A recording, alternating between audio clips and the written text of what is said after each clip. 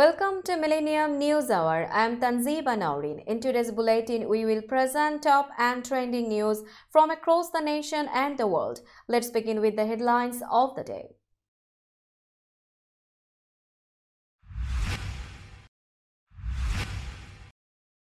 Donald Trump wins Iowa caucuses.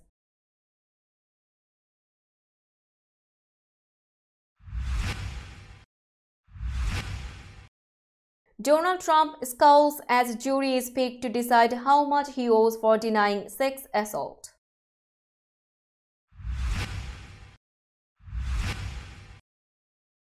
Entrepreneur Ramaswamy drops out of White House race, endorses Trump.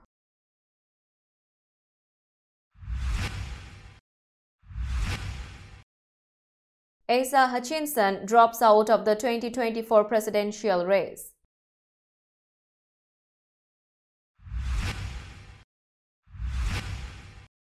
Nikki Haley says she won't debate Ron DeSantis in New Hampshire unless Donald Trump participates.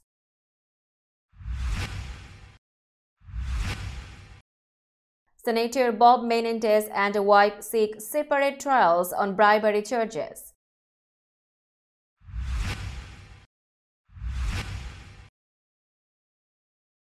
US will sustain support for Ukraine.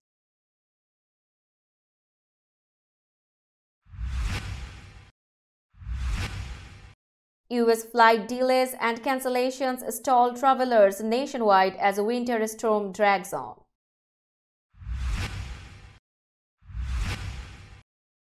Succession succeeds the Bear Eats It Up in 75th Emmy Awards.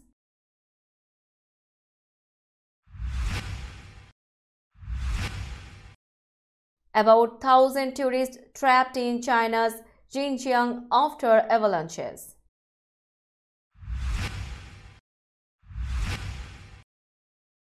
Korean airplane strikes Cathay aircraft in Japan.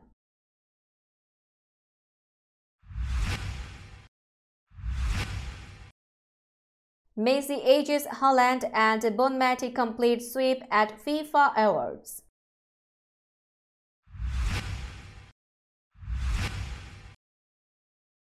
And Nadal named Saudi Tennis Federation ambassador.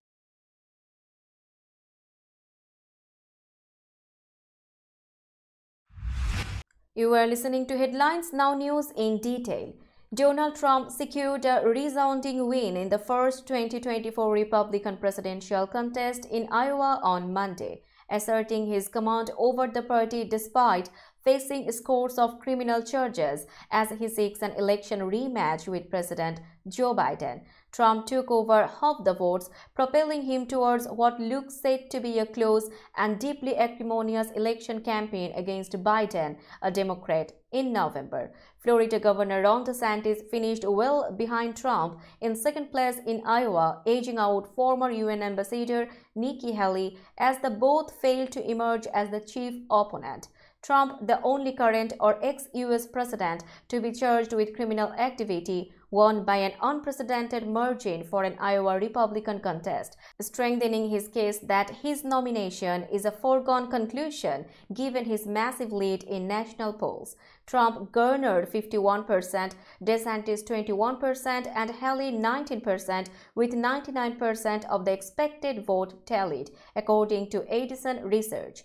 Thank you, Iowa. I love you all, Trump wrote on his social media platform Truth Social.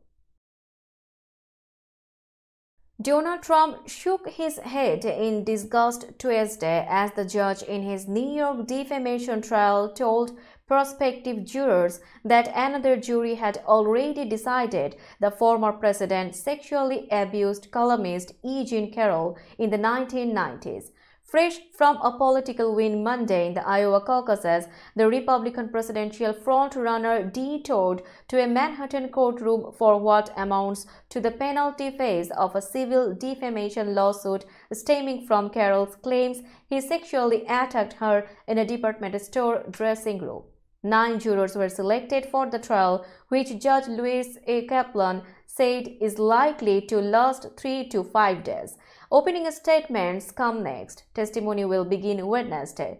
Trump did not attend the previous trial in the case last May when a jury found he had sexually abused Carroll and awarded her 5 million in damages. In light of that verdict, Kaplan told prospective jurors the trial beginning Tuesday would focus only on how much money, if any, Trump must pay Carroll for comments he made about her while president in 2019. For purposes of the new trial, it had already been determined that Trump did sexually assault Miss Carroll, Kaplan said, prompting Trump to shake his head from side to side.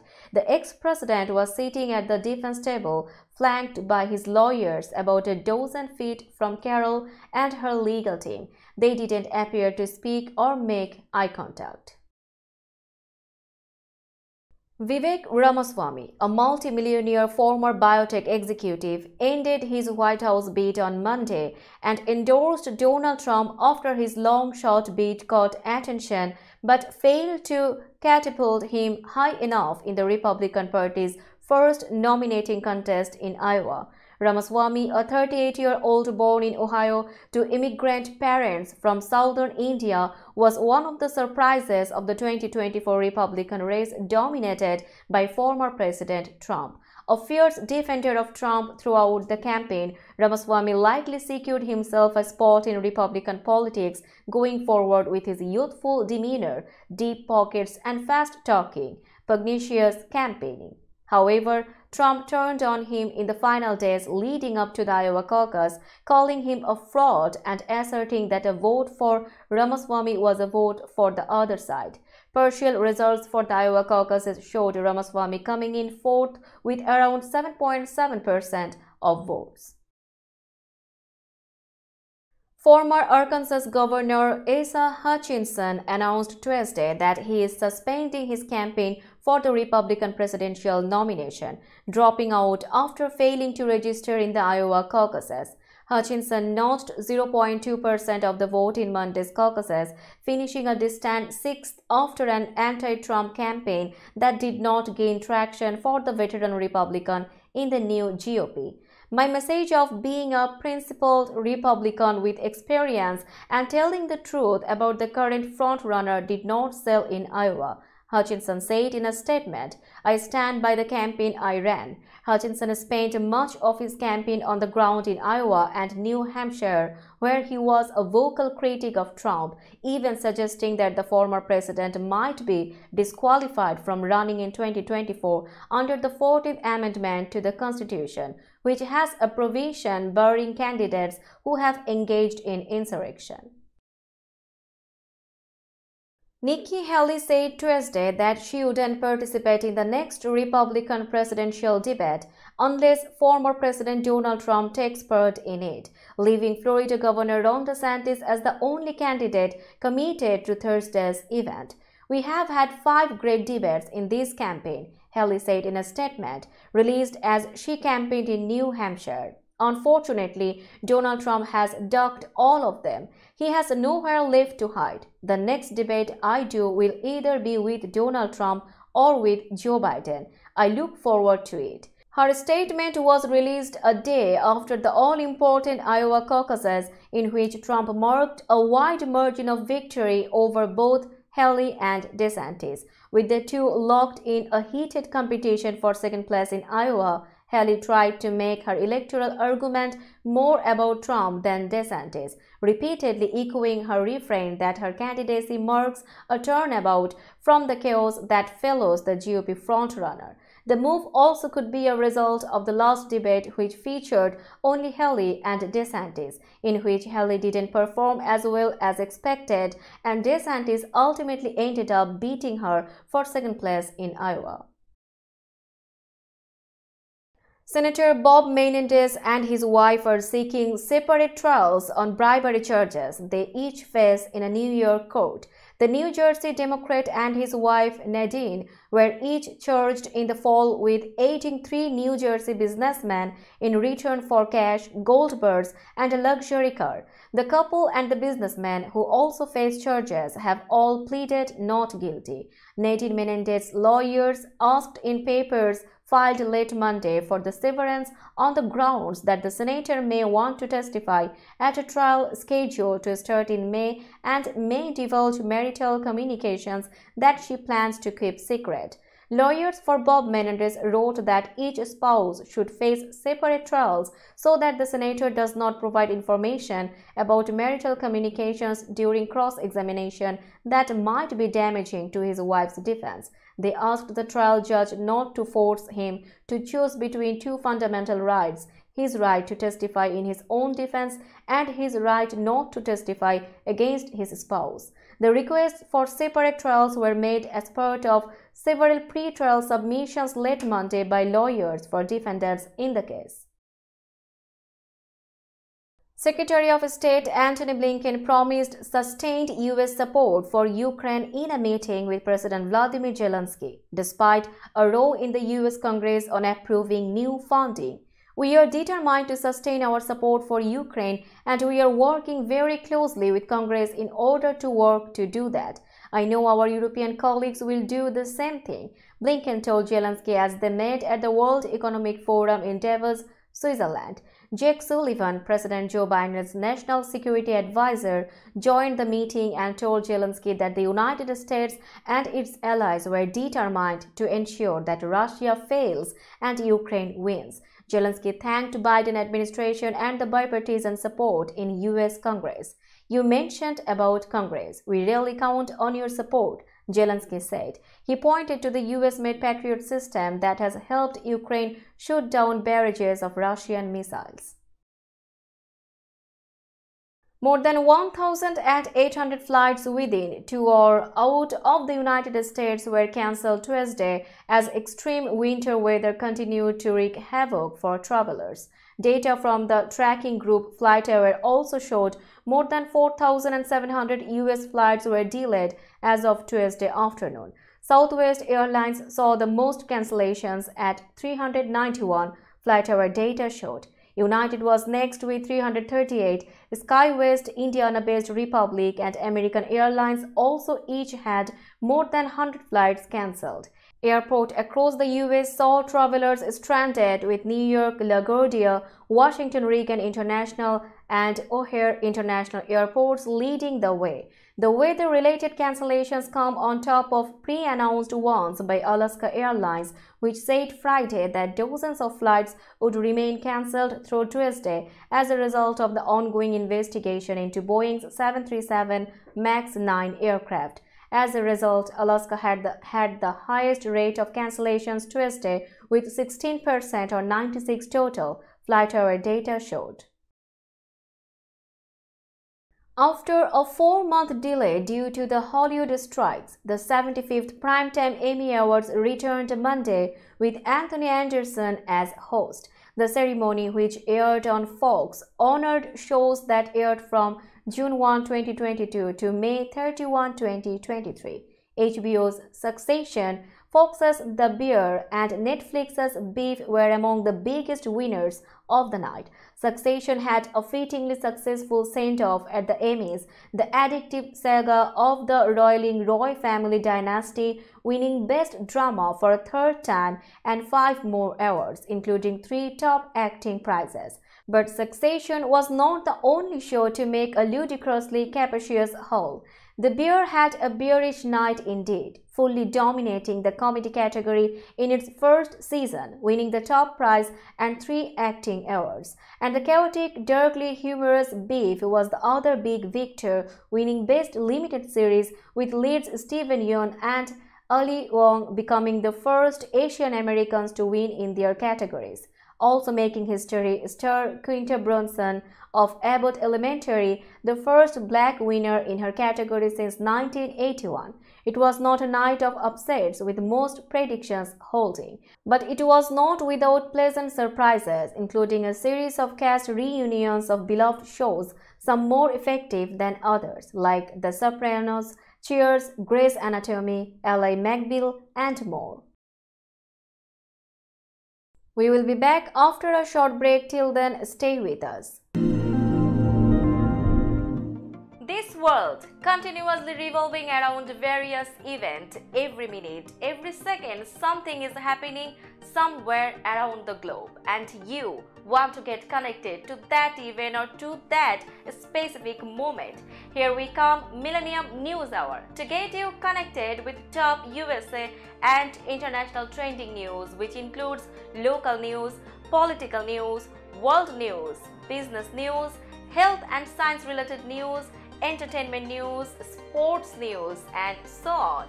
Millennium News 24 is transmitted and available to be watched free for all at TVs such as Sony, Samsung, LG, Roku TV, Amazon TV and Apple TV and also in all European countries and Australia available with Sky Network, Worldwide Jadoo TV, Radiant IPTV, Worldwide Jago BD Network and Horizon Satellite globally. Stay connected with Millennium News Hour to get the world news on your fist. Welcome back to Millennium News Hour. Now it's time for global updates.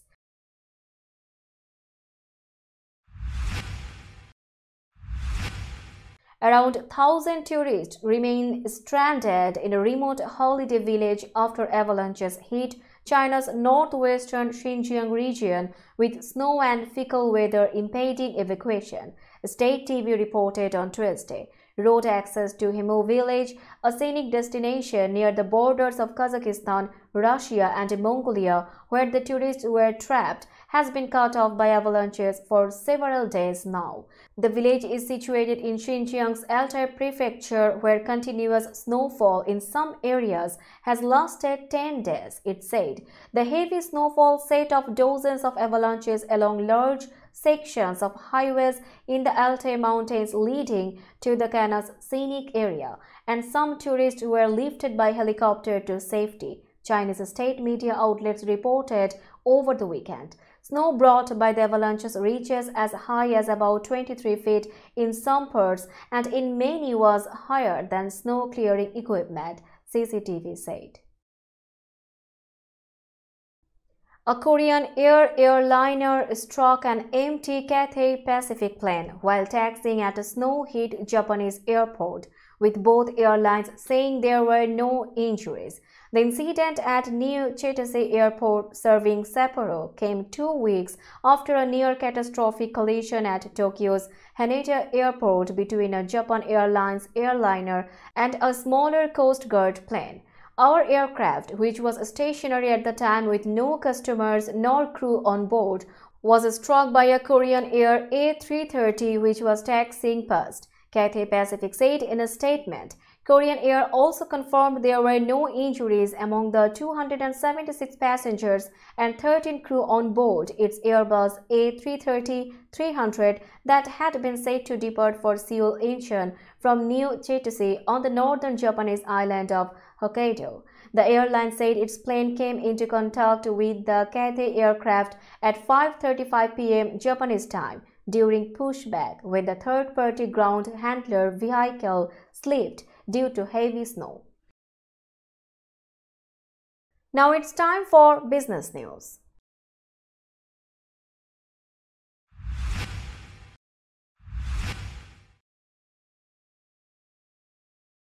Today's New York stock close price is 16,799.54. The NYSE composite is increased by 18.42 points or 0.11%.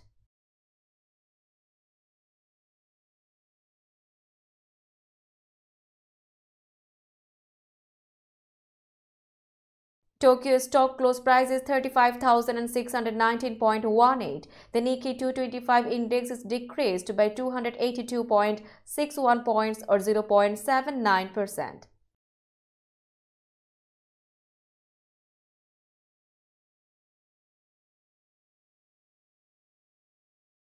Shanghai stock close price is 2893.99. The Shanghai index is increased by 7.70 points or 0.27%.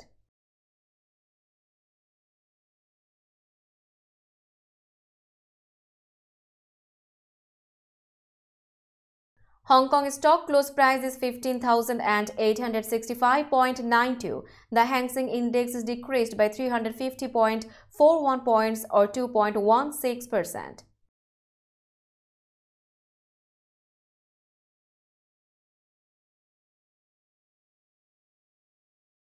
Bombay stock close price is 73,128.77. The Sensex index is decreased by 199.17 points or 0.27%. We will be back after a short break. Till then, stay with us. This world continuously revolving around various events. Every minute, every second, something is happening somewhere around the globe and you want to get connected to that event or to that specific moment. Here we come Millennium News Hour to get you connected with top USA and international trending news which includes local news, political news, world news, business news, health and science related news, entertainment news, sports news and so on. Millennium News 24 is transmitted and available to be watched free for all at TVs such as Sony, Samsung, LG, Roku TV, Amazon TV and Apple TV and also in all European countries and Australia available with Sky Network, Worldwide Jago TV, Radiant IPTV, Worldwide Jago BD Network and Horizon Satellite globally. Stay connected with Millennium News Hour to get the world news on your fist. Welcome back to Millennium News Hour. Now let's have a look on today's sports stories.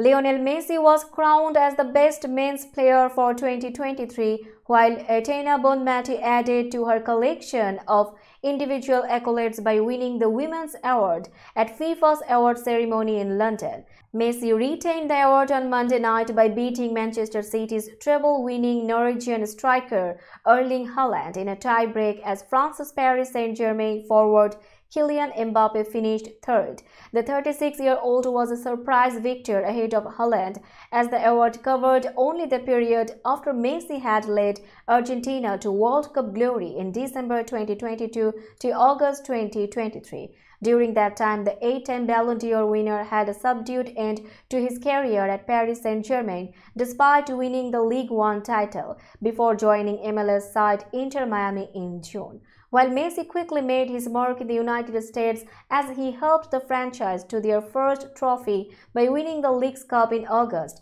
Haaland was the favorite to win after scoring 52 goals in his debut season with City as the English side won a treble of Champions League, Premier League and FA Cup. Rafael Nadal said there is real potential to grow the sport of tennis in Saudi Arabia after the 22 times Grand Slam champion was named an ambassador for the Saudi Tennis Federation. The role will see the former world number one spend time each year in the Desert Kingdom to help train children and grow interest in the sport, with plans also in the pipeline for a training academy, the Saudi Federation said. Everywhere you look in Saudi Arabia, you can see growth and progress, and I am excited to be part of that. Nadal, who pulled out of the ongoing Australian Open with a muscle injury, said in a statement. The Spaniard, who recently visited a junior tennis clinic in Riyadh, struggled with a hip problem last year before making his comeback in Brisbane but expects 2024 to be his final season on the professional tour.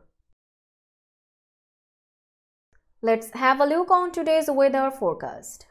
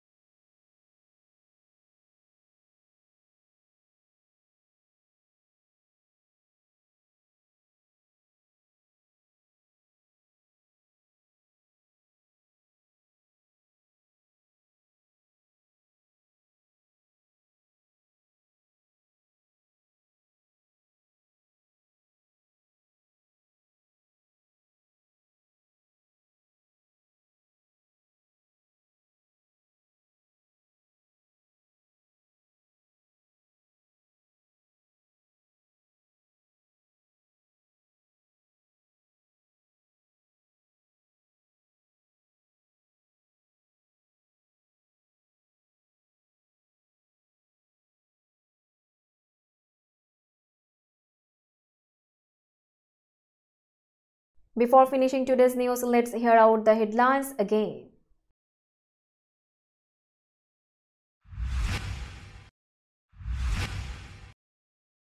Donald Trump wins Iowa caucuses.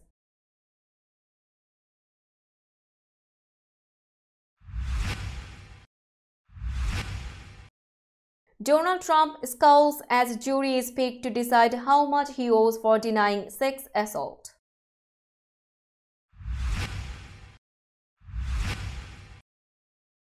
Entrepreneur Ramaswamy drops out of White House race, endorses Trump.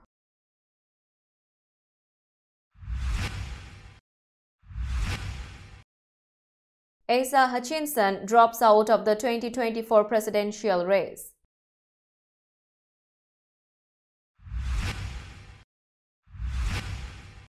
Nikki Haley says she won't debate Ron DeSantis in New Hampshire unless Donald Trump participates.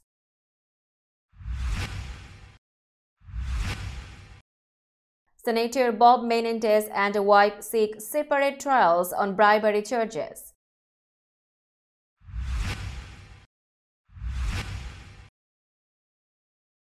US will sustain support for Ukraine.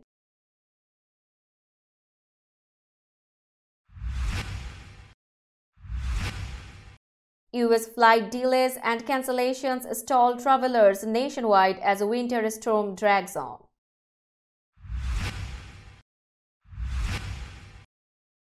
Succession succeeds the Eats It Up in 75th Emmy Awards.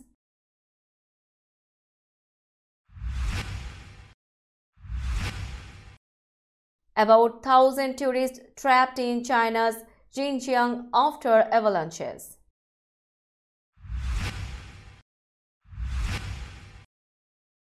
Korean airplane strikes Cathay aircraft in Japan.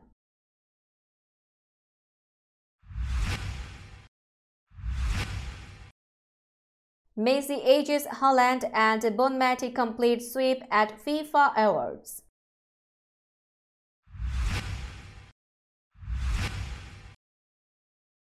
And Nadal named Saudi Tennis Federation ambassador.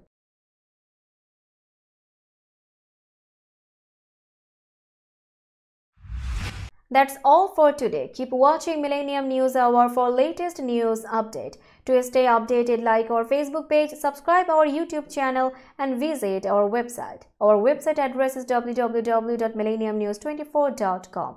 Millennium News 24 is transmitted and available to be watched free for all at TVs such as Sony, Samsung, LG, Roku TV, Amazon TV and Apple TV and also in all European countries and Australia available with Sky Network, Worldwide Jadoo TV, Radiant IPTV, Worldwide Jago Network and Horizon Satellite globally.